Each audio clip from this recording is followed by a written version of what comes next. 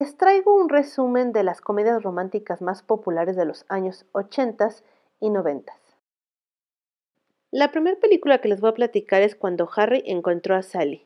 protagonizada por Bill Crystal y Meg Ryan en el año 1989. Harry y Sally se conocen en la escuela, cuando Amanda le pide a Sally que se lleve a su novio Harry hacia Nueva York, porque ella va a ir desde Chicago hasta Nueva York, entonces ya en el coche pues ya se van este Harry y Sally, son varias horas de camino, ahí se conocen, a Sally no le cae muy bien Harry, y Harry como que aparte es como que le coquetea a esta Sally, y Sally le dice que no va a andar con él porque pues él anda con su amiga Amanda, aparte de que a él en ese, en ese momento a Sally no le cae muy bien Harry, y Harry le decía que no puede haber amistad entre un hombre y una mujer, y Sally le decía que sí podía haber una amistad entre un hombre y una mujer, pero él decía que si más si se siente atraído por una mujer, pues menos va a ser amigo este Harry. Pues tal que, llegando a Nueva York, cada quien toma por su camino, ya cada quien se va a su lado. Pasan algunos años, se vuelven a encontrar en el aeropuerto en el avión Harry y Sally, y platican de que, que en cierta parte Harry sí ya empieza a creer que puede haber amistad entre Sally y Harry porque cada quien tiene pareja. De hecho, Harry se va a casar y Sally pues, también tiene un novio. Total que pasan los años de nuevo, o sea, platican en ese avión en el aeropuerto, vuelven a este, pasar varios años, se vuelven a encontrar, resulta que ya se había separado esta Sally de su novio y también ya estaba en planes de divorcios este Harry con su esposa. Entonces como que vuelven así como que entablar como que la amistad. De hecho sí siguen siendo amigos muchos años como cada quien pasó por una ruptura amorosa, ellos ya no tienen como que, o sea, como que a Harry siempre le gustó Sally, pero bueno, los dos están así como, este, dolidos por sus, ahora sí que, porque habían tronado con sus respectivas parejas, entonces sí conservan la amistad por muchos años, hasta que ya, bueno, bueno, si, si alguna vez vino la película y todo, saben que después al final se como que se habían separado, o sea, como que ya la amistad había dejado de salir, porque pues sí había una atracción, después de varios años de amistad, pues sí había atracción entre ellos, y al final pues sí acaban juntos, como típica película comedia romántica, entonces sí acaban juntos. Entonces, pues esa película fue muy famosa por algunas escenas, pero pues bueno, la película de, aquel entonces pues estuvo bien para eh, aquella época. La siguiente película de las que les platico se llama Cuatro bodas y un funeral del año 1994, donde Hugh Grant es el actor principal protagonista interpretando a Charles, y Andy McDowell interpretando a Carrie, que es la mujer protagonista de esta película. Charles y Carrie se conocen en una boda, después de esa boda pasan en la noche juntos. Ella le dice de broma que como pasaron la noche juntos se tienen que casar, pero pues lo está, lo está cotorreando, porque en realidad Charles pues ha tenido muchas novias y no cree en el compromiso. Total que después ya se separan, ya, más, ahora sí que nomás fue un, una, un amorío de una noche. Y después de un tiempo les llega otra invitación para otra boda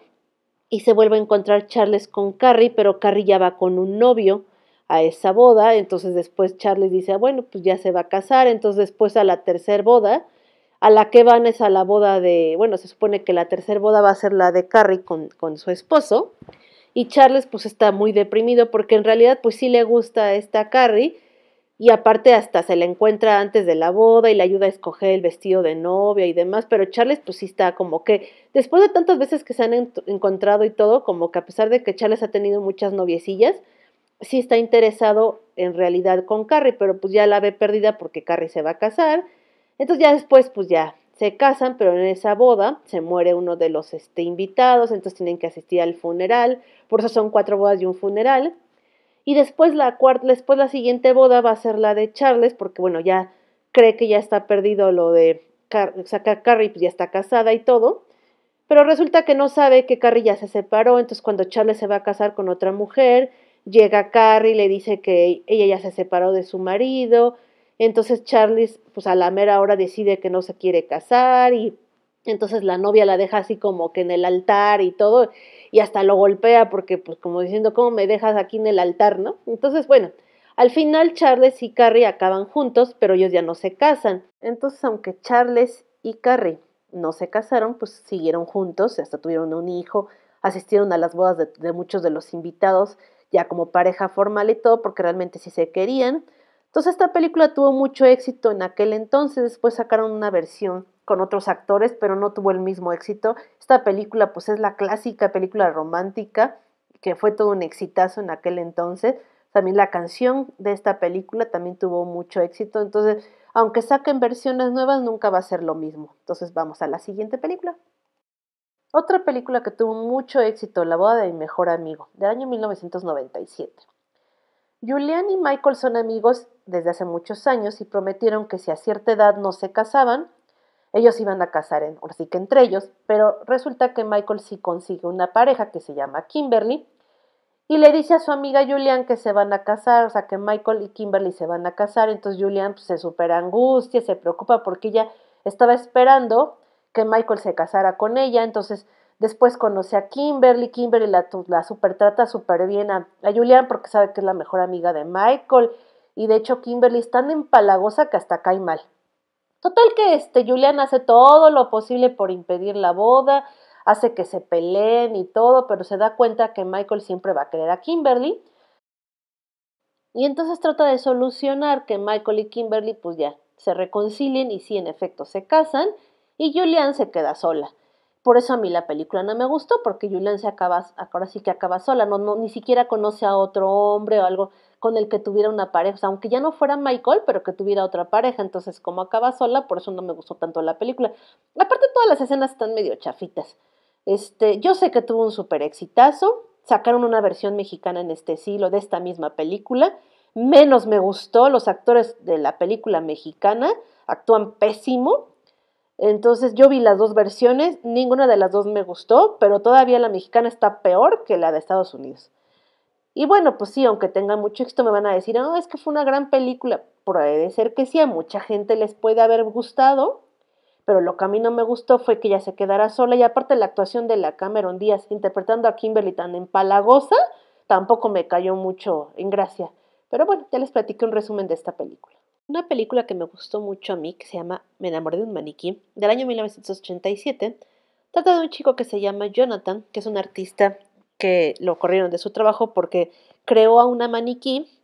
pero como se tardó mucho en hacer nada más un solo maniquí, pues el, ahora sí que el encargado lo corrió porque dijo que tenía que crear varios maniquís. Pero pues él, él ahora sí como que fue su gran obra de arte. Entonces lo corren de ese trabajo y entonces pasa de un trabajo a otro, en un restaurante, también lo corren, porque como que todo lo hace así como que con mucha calma y todo, entonces pues, los, jefes pues se enojan y lo corren, en un, eh, también de jardinero lo corren, luego bueno, está en una fiesta de, de niños y está haciendo globos y entonces también lo corren porque el niño caprichoso quiere un globo grandote para su cumpleaños y le dice que es de, la compañía, entonces eh, de todas maneras le exige que le dé el globo y el niño se va volando en el globo, entonces también lo corren. El caso es que pasa de un trabajo a otro y tiene una novia que se llama Roxy, pero Roxy como que se avergüenza de él porque pues anda en moto en lugar de traer un coche y Roxy pues está, la verdad es que no es, una, no es una buena persona, su novia. Pero bueno, el caso es que este, un día regresa a la tienda donde está el maniquí que él creó y está viendo así como que va a ser su aniversario de esa tienda. Y entonces la dueña de la tienda este, está como que le va a caer como encima un letrero del aniversario. Entonces este Jonathan la salva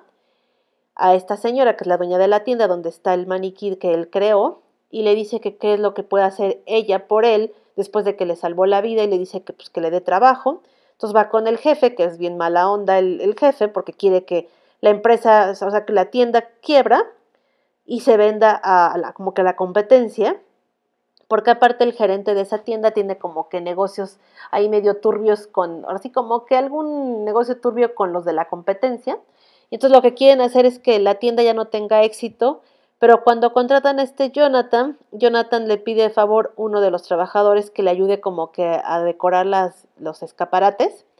las vidrieras de ahí de la, de la tienda, y entonces encuentra a su maniquí que él creó, y le empieza a vestir y todo, le pone así como que cosas muy padres en las vidrieras y todo. Y resulta que esta chica, la maniquí que se llama Emi, era una diosa así como del Egipto, del antiguo Egipto. Ella pidió salirse de ahí de Egipto y pues, la mandan a otros como que a otras épocas hasta que llega a esa época con este Jonathan. Y cobra vida cuando están ellos dos solos, o sea, cuando está Jonathan con Emi, con la maniquí, ella cobra vida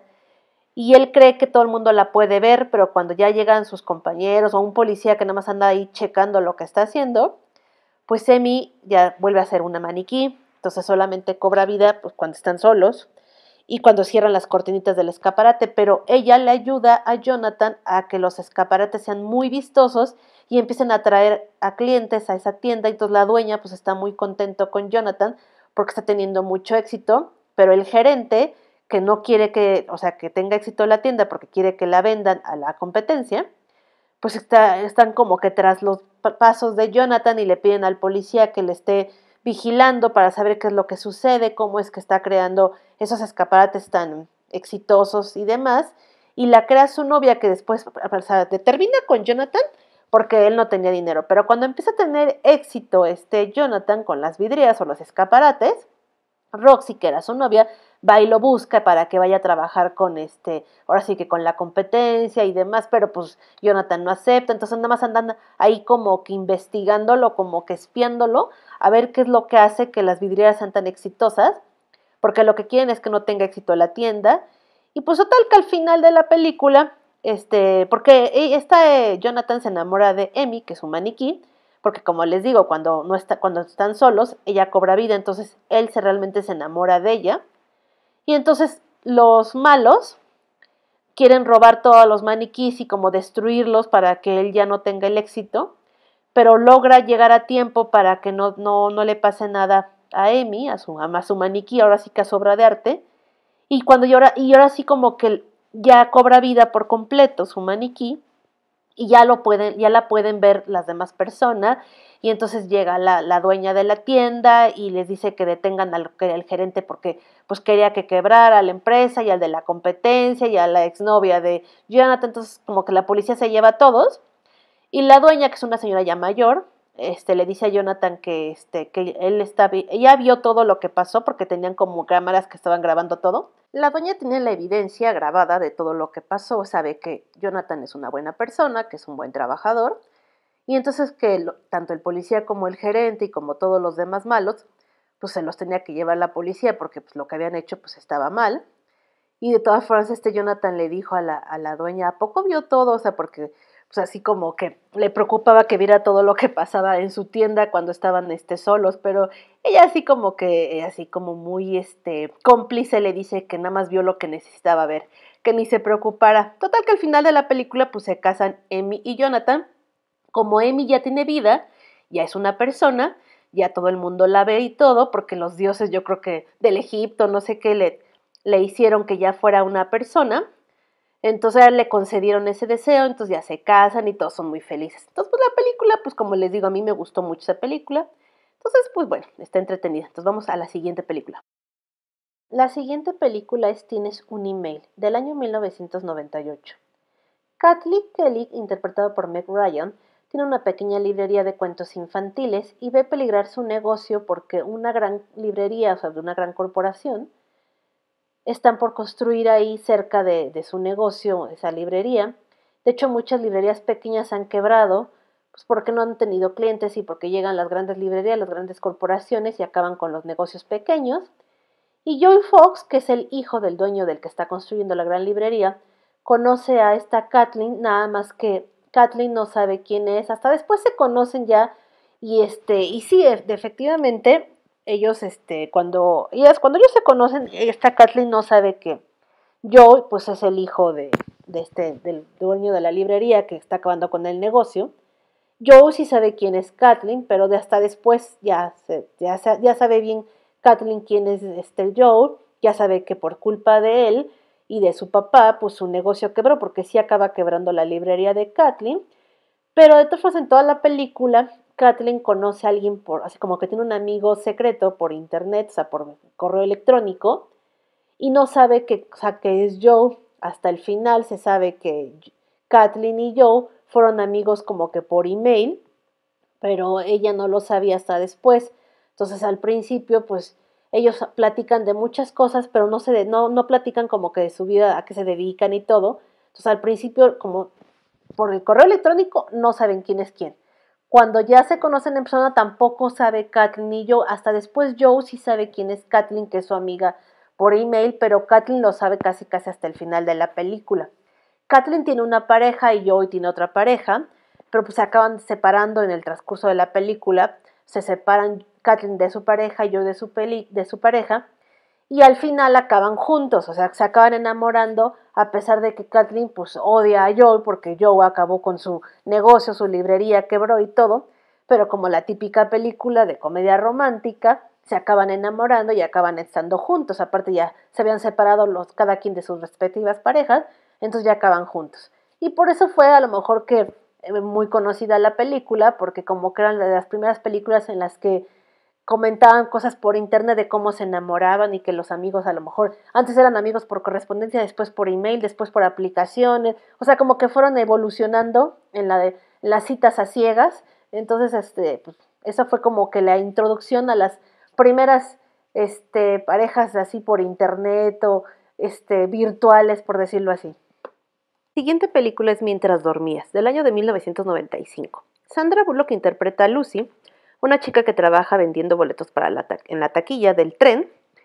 y todos los días en la mañana ve un hombre que se llama Peter, que le encanta, o dice que es el hombre como que con el que sueña ella, y que algún día se van a casar aunque ni se conozcan. Total que un día Peter está platicando con unas personas cerca de las vías del tren y se cae por un accidente, y entonces las personas con las que está platicando salen corriendo, y entonces Lucy va como que a tratar de ayudarlo, pero ve que Peter está inconsciente, entonces Lucy le dice que trata de, o sea, trata de despertarlo y todo porque ahí viene el tren, pero pues Peter no despierta, entonces ya lo mueve, o sea, como que le salva la vida, se lo llevan al hospital y cuando Lucy llega al hospital para saber cómo está Peter, pues no le quieren dar ninguna respuesta porque ella no es familiar, entonces Lucy, ella fue la que le salvó la vida, pero no, ellos, los del hospital, pues no le pueden dar ninguna respuesta de cómo está su salud y todo. Peter está en coma, entonces Lucy así, así misma dice que ella, se iba a casar con él, o sea, como diciendo, ay, nos íbamos a casar, pero hacia sí misma, o sea, no se lo dice a nadie más. Pero eso lo escucha la enfermera y entonces va y le dice al doctor que ella es la prometida de Peter y entonces ya la dejan ver y acercarse a Peter para ver cómo está, ya le platica y todo. Entonces llega la familia de Peter y entonces la enfermera le dice a toda la familia que Lucy es la prometida, aunque no sea cierto, pero Lucy como que no tiene el valor de decirles pues que no es cierto, que, ni se conocen Peter y ella, pero como ella está sola, no tiene ni familia, ni papás, ni nadie, se siente muy acobijada con la familia de Peter porque la reciben muy bien y la tratan muy bien, entonces como la hacen parte de esa familia, Lucy empieza a ir a visitar a Peter y todo mientras él está en coma, porque pues ella quiere a lo mejor el día de mañana pues sí casarse con un hombre, tener una familia y todo, porque pues, se siente muy contenta con la familia. Pero resulta que después conoce al hermano de Peter, este Jack, y ya como que desconfía que Lucy sea la prometida, o sea, como que él no, no está confiando. De hecho, el único que sabe que Lucy no es la prometida es el abuelo, pero el abuelo le dice a Lucy que no les diga la verdad a la familia porque los va a lastimar y porque ya la recibieron con mucho cariño.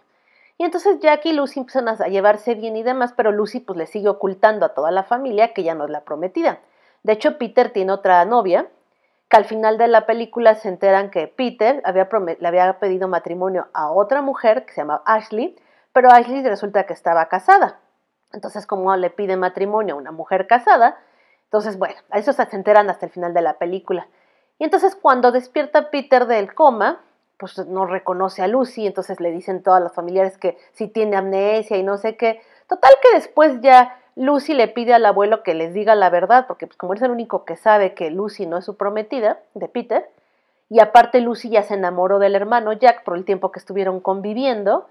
pero como el abuelo no les dice, entonces Peter y Lucy ya van a llegar a casarse, cuando Lucy ya, antes de que se case con Peter, les dice que, que Lucy, o sea, toda la verdad de que ella nunca estuvo prometida de Peter y que realmente el, al que, al que está, del que está enamorado es de Jack, entonces bueno, Total que Lucy y Jack en el final acaban juntos y Peter, bueno, pues ya se queda solo porque pues la que era su novia, esta Ashley, resulta que estaba casada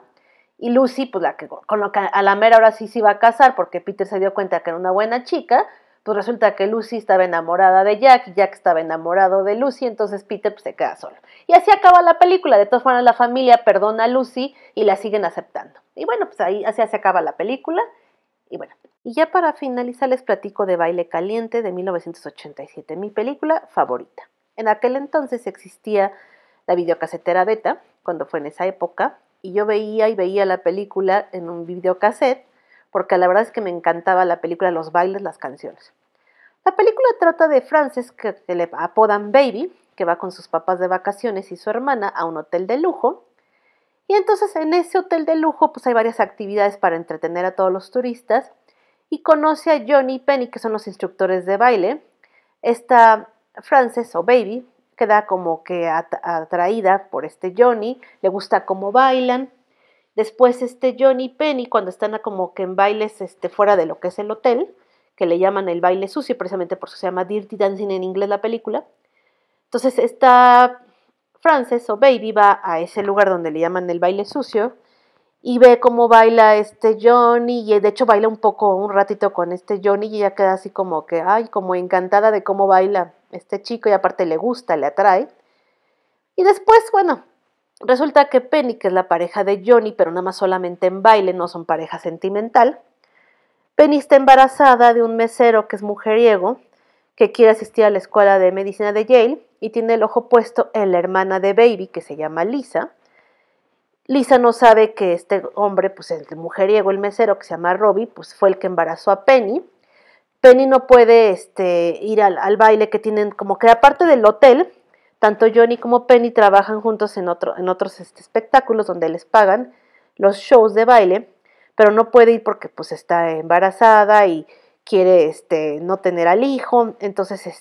necesita dinero y entonces esta baby va y le pide dinero a su papá, pero nunca le dice para qué es el dinero. Y entonces cuando le pagan a un doctor para que no tenga el hijo esta Penny, las cosas salen muy mal y entonces este, pues ella está como que en peligro de que fuera a tener algún, pues, fuera a desangrarse o morir o lo que sea. Y entonces como el papá de Baby es doctor, va y lo llama para que le ayude a esta Penny, va y la, ayuda, pero se enoja pensando que el Johnny fue el que embarazó a Penny porque el papá hasta el final de la película sabe que Johnny no tuvo nada que ver con el embarazo de Penny sino que fue el mesero, este mujereo, que aparte andaba atrás de Lisa, la hermana de Baby. Entonces, bueno, resulta que, bueno, como esta Penny tiene que presentarse en el baile, entonces esta, esta Baby se ofrece a, a, bailar con Johnny y entonces ensayan juntos y así surge un romance entre ellos. Y después cuando el papá de Baby se entera que Johnny y Baby andan saliendo, que son pareja, pues se enoja mucho, le deja de hablar, hasta hacen que corran a Johnny de ese hotel. Y entonces en el baile final Johnny ya no baila con esta Penny, pero este después cuando se entera el papá de esta baby que el mesero fue el que embarazó a Penny y no Johnny, y que aparte pues era el mesero que andaba tras la hija, o sea, la hermana de baby, pues se enoja porque le iba a dar ayuda a este chavo, pero a la mera le quita la ayuda porque pues se entera que que embarazó a la otra chica y después va y se disculpa con Jenny. Claro, después de que se, antes de que se disculpe, ahora sí que en el mero final, este Johnny saca a bailar a esta baby, bailan el final, así todo lo que habían ensayado en el verano de los bailes y todo, pues ya bailan ahí en la actuación a pesar de que no le iban a permitir hacer el último baile, pues él de todas maneras se impone ante todo el público, bailan y todo ya se emociona y así acaba la película, ¿no? De que se reconcilia ya el papá de Baby con Baby, va y le pide disculpas a Johnny, y todo tiene un éxito ahí. Y bueno, se enteran ya realmente que el, el que fue el que embarazó a Penny, era es una mala persona y que aparte pues no va a andar con Lisa. Entonces, bueno, la película, como les digo, fue mi favorita. Entonces, pues ya les platiqué las películas que creo yo que fueron las que más populares estuvieron en, en aquel entonces. Digo, hay muchas otras más películas que va a haber, pero pues también ni, modo que haga un video con 20 películas, porque igual si hay 20 películas que tuvieron mucho éxito, tal vez después haga otro video con otro tipo de, o sea, con las otras películas que me hicieron falta de agregar en este video, pero por lo pronto, pues nos vemos para la próxima.